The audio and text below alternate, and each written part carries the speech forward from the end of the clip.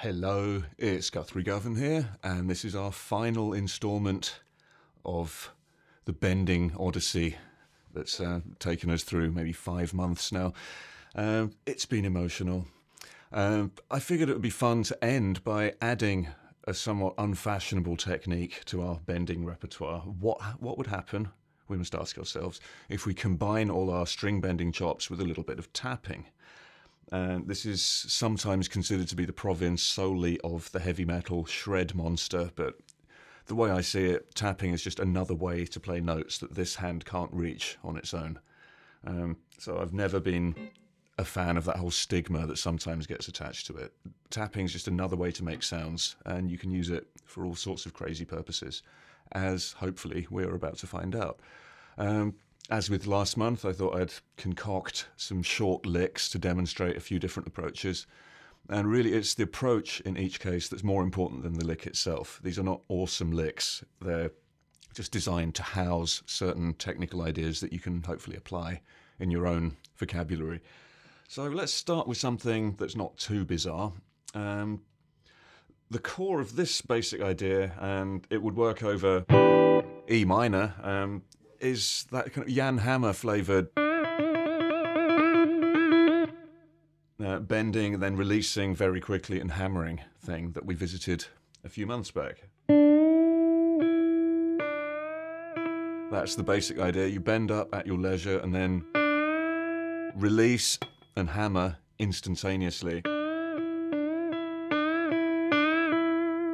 So if you want to add a little something to that rhythmically, you could maybe start by tapping this note.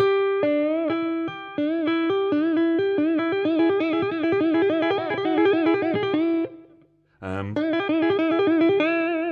like that. You have to be a little careful because the B string sometimes wants to ring out and join in the fun. You must not permit it to do so.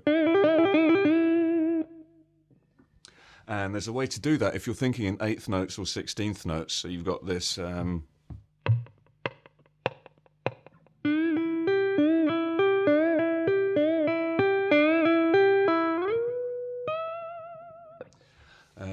so it kind of rhythmically displaces every time that three note pattern comes back. Um, this will be more clear when you look at the music in the magazine. Um,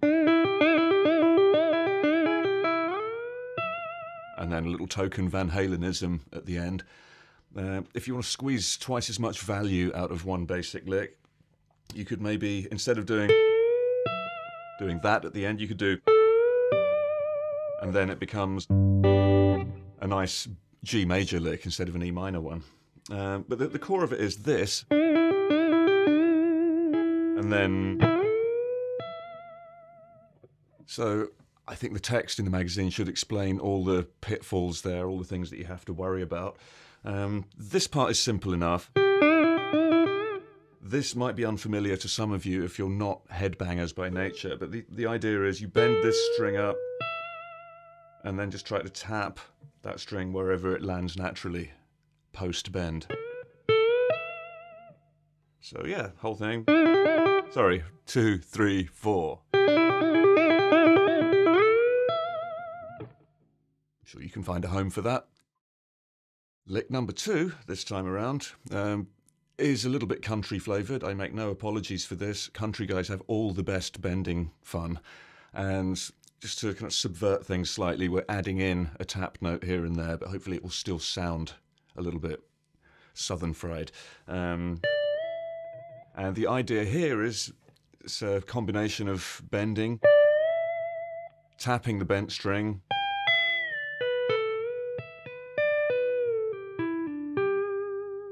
Well, in fact, I've just blown it. I've just played you the whole lick. That's it. Um,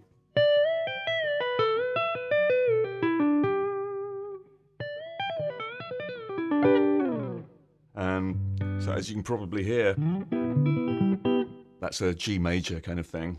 Um,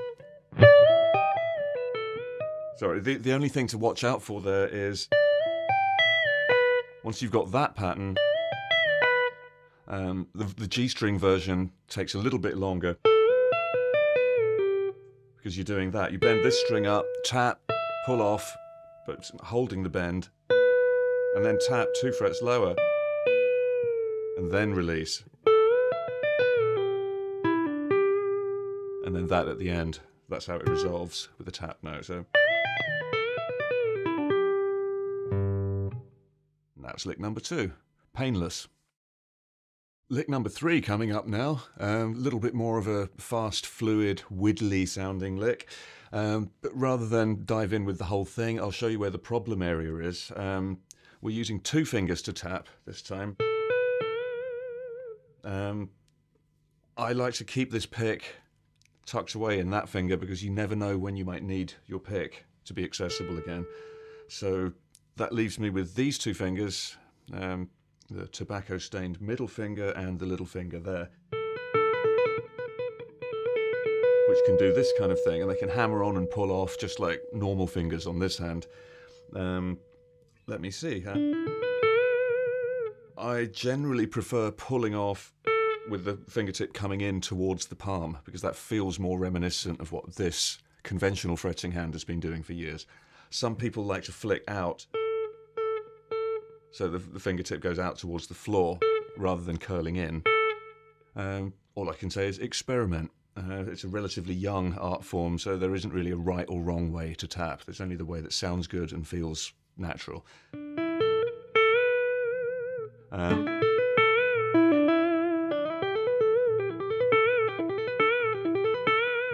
so the trick here is um, you have a, this kind of pentatonic run on the G string. Um, so you get comfortable with that, and then once you've gone all the way up and down with your tapping hand,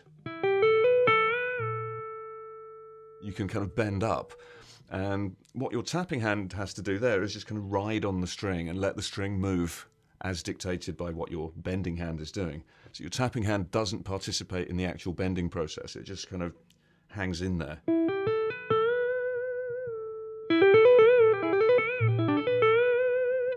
And if you can do that, then it has a, a kind of partner mini lick there.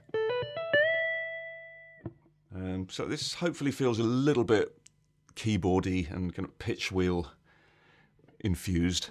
Uh, I shall now attempt to show you the whole lick. Uh, this works in 16th note triplets, although you may wish to adapt it for your own wicked ends. Um,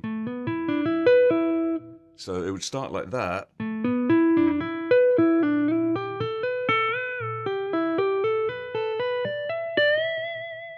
So if you're just thinking da da da da da da da all the way through in a bar of 4-4, then that final long bent note should magically pop up on beat one of the second bar.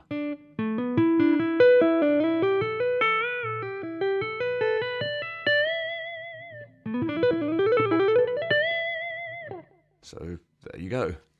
Um, I think you can have some fun with that one, maybe. And now we should travel back in time for lick number four. Um, this is basically a way to emulate a blues harmonica lick. Um, I might even be naughty and use the overdrive channel of my V30 amplifier. Um, um, so the, the idea here is to use the same kind of bend and tap mechanism, but to add a kind of trilling motion.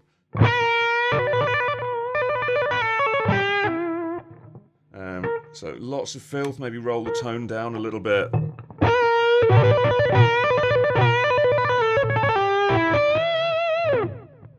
So just two basic places to do this trill, and note that it's actually the bend that makes it effective. If I'm just going, doesn't quite sound bluesy enough, but there's something about having this at the start.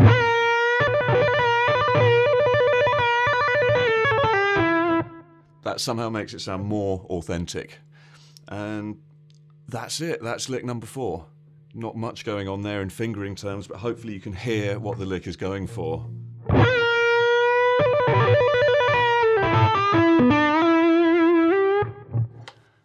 Yeah. For lick number five, I figured we'd go back to the comfort of the clean channel, and we're going to be doing some slightly strange things here, all for the sake of sounding a little bit like country music. I keep coming back to this theme, but it's fun. It's fun here. Um,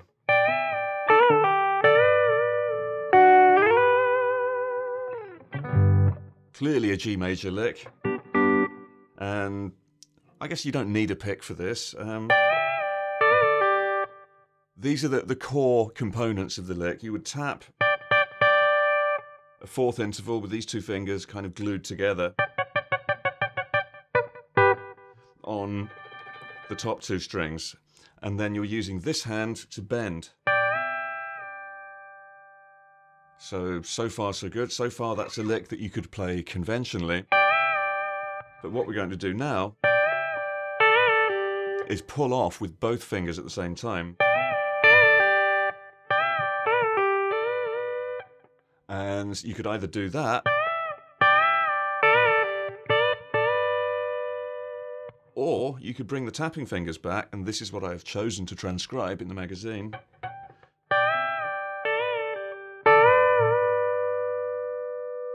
Like that, and then uh, you can, while these are still ringing, you can relocate this hand to here pull off to the seventh fret and then slide up. So it's a little bit pedal steely, but a little bit odd as well. Huh?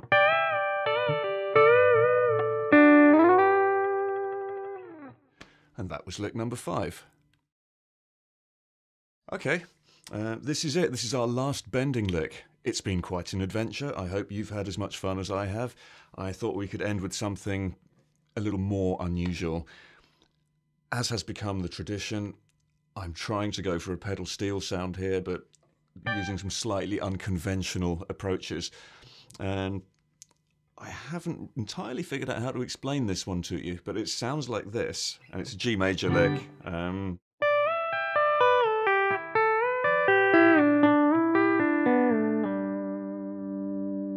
so that's kind of all over the place, but there are three main areas where the fun is happening. The first one is here. So it's that same idea of tapping a double stop, bending the lower note, and then releasing. But the twist here is that your tapping fingers kind of come off at unusual times. So for the first part of the lick, this hand is doing that, and this is tapping here. And then if you break it down, it does this. You bend up the tap note here, tap this string, and now pull off with the E string finger. And now, as a separate rhythmic event, pull off with the other tapped finger, and now release. So, um, I think your main priority, apart from pitching, has to be making sure that there's rhythmic definition and all of these notes come out evenly spaced. And now the next kind of area is your, your fretting hand down here and you're tapping up here.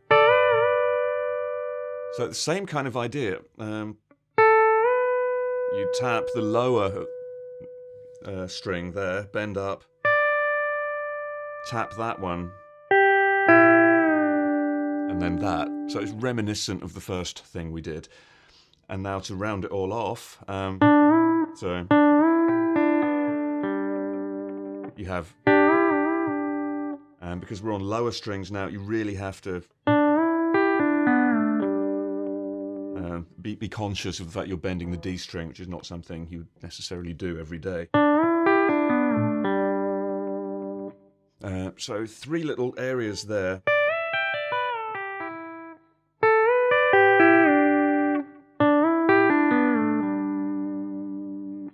And when you try and join all of that together, uh, one thing that will throw you is that you have to kind of sneak this hand down from there to here, kind of when no one's looking. Um, right there, while I'm tapping this note, this fretting hand has to come down.